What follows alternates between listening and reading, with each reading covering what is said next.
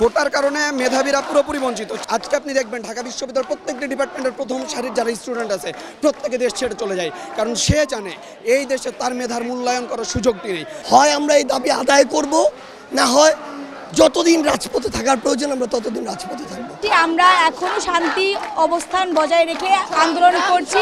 দেখা যাচ্ছে একটা বিশেষ শ্রেণীকে বিশেষ সুযোগ সুবিধা দেওয়া হচ্ছে।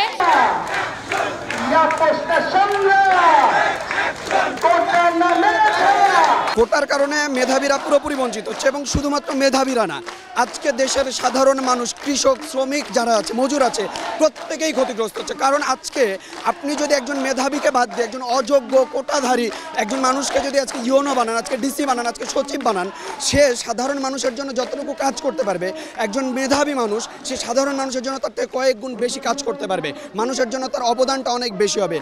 আপনি যদি এই মেধাবীদের নিয়োগ দেন, আজকে যে আপনাকে বেঞ্জিরদের দেখতে হচ্ছে, আজকে যে আপনাকে মতিউরদের দেখতে হচ্ছে, এই মতিউর বেঞ্জিরদের আধিক্যটা আজকে আপনার সমাজে কমে যাবে। আজকে আপনার রাষ্ট্র ব্যবস্থায় এদের আধিক্য কমে যাবে। ফলে শুধুমাত্র মেধাবীরা চাকরিতে সুযোগ পাবে, ব্যাপারটা এমন না। মেধাবীদের পাশাপাশি পুরো দেশ উন্নত হবে। আজকে যখন আপনি চতুর্থ শিল্প বিপ্লবের কথা চিন্তা করেন, পুরো ইউরোপে আপনি তাকায় দেখেন, পুরো পৃথিবীতে তাকায় দেখেন, সবাই যখন মেধার ভিত্তিতে একটি বৈষম্যহীন সমাজ ব্যবস্থা তৈরির চেষ্টা করছে তখন আপনি বাংলাদেশের মতো একটি উন্নয়নশীল রাষ্ট্রে আপনি এই কোটার মতো একটা বোঝা চাপিয়ে দিয়ে শুধুমাত্র মেধাবীদের পিছিয়ে রাখছেন তা না, আজকে আপনি দেশের সাধারণ মানুষকে পিছিয়ে রাখছেন। যার কারণে দেশের অধিকাংশ মেধাবী আজকে কেন ইউরোপ, আমেরিকায় চলে যাচ্ছে?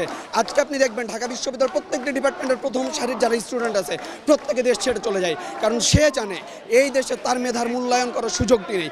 আপনি যদি এই সরকারি চাকরিতে এই মেধার মূল্যায়নটি না করেন, তাহলে আজকে শুধুমাত্র প্রথম সারির না। এরপরে দেখবেন মেধা, ন্যূনতম মেধাবী যারা আছে, প্রত্যেকে এই দেশ ছেড়ে চলে যাবে। এই দেশ দরিদ্রই থেকে যাবে।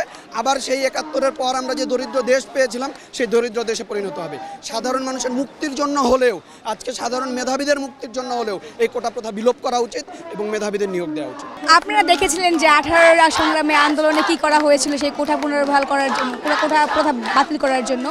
এবং আমাদের এই দাবি যদি ওরা মেনে না নেয়, তাহলে ছাত্র সমাজ যে এই সুপ্ত পর্যায় থেকে কোন পর্যায়ে যেতে পারে সেটা মনে হয় আগেও সরকার দেখেছে, এরপরেও সরকার দেখবে।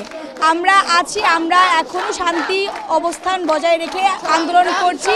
এই আন্দোলন চলবে এবং আস্তে আস্তে সেটা বেড়ে যাবে, একদম সারা দেশে বেড়ে যাবে, সেটা সরকার দেখতে পারবে। সবাই কিন্তু সরকারি চাকরিতে আসতে পারে না। সেই জায়গায় তিরিশ পার্সেন্ট মুক্তিযোদ্ধা কোটা সহ ছাপ্পান্ন পার্সেন্ট এই কোটা। সেখানে আমরা মেধাবীরা যারা হচ্ছে দিন রাত পরিশ্রম করে মানে এই একটা বিশ্লেষণ থেকে আসছে বিসিএস এর ছেচল্লিশতম বিসিএস এর বিশ্লেষণ জন্য আমরা লক্ষ লক্ষ এই আসতেছি। দেখা যাচ্ছে একটা বিশেষ বিশেষ সুযোগ সুবিধা দেওয়া হচ্ছে, যেখানে সবাইকে আসলে সমানভাবে দেখা উচিত। আপনি দেখছেন এখানে চলে এসেছে। শুধুমাত্র ঢাকা বিশ্ববিদ্যালয়ের এই এলাকাটুকুতে এতগুলো মানুষ জড়ো হয়েছে। সারা বাংলাদেশে আমাদের মতো অজস্র শিক্ষার্থী রয়েছে যারা, যাদের সাধারণ একটাই দাবি যে তারা যেন সমান অধিকারটা পায়। চাকরি ক্ষেত্রে, সব ক্ষেত্রে যাতে তারা সমান অধিকারটা পায়। কিন্তু আমাদের শেষ, আমরা চাকরির পড়াশোনা করছি, শেষ পর্যন্ত যে শেষ দৌড়ে আমরা যদি আর টিকতে না পারি, তাহলে এত পড়াশোনার কোনো দাম থাকে না। যে সাড়ে দশটার দিকে হাইকোর্ট যে রায় ছিল, সেটা পুনর্বহাল রেখেছে সেটা হচ্ছে ছাত্র সমাজের সাথে একটা বৈষম্য। আমরা চাই না যে কোটা পুনর্বহল থাক। কোটা সহ সব ধরনের কোটা, মুক্তিযোদ্ধা কোটা সহ কোনো ধরনের কোটা পুনর্বহল থাক। শুধুমাত্র ক্ষুদ্র নিগোষ্ঠীদের জন্য যে কোটা পাঁচ পার্সেন্ট বা দশ পার্সেন্ট সেটা যাতে পুনর্বহাল থাকে। দাবি না মানা হয় ততদিন আমরা রাজপথে থাকব। আমরা প্রত্যাশা করেছিলাম যে আজকে আমাদের যে দাবিটি সেটি পূরণ হবে এবং বাকি দাবিগুলোর যে প্রক্রিয়া সেটি শুরু হবে।